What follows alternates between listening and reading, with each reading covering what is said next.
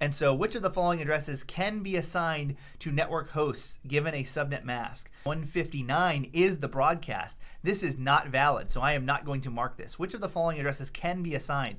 This cannot be assigned, so I'm not going to check that.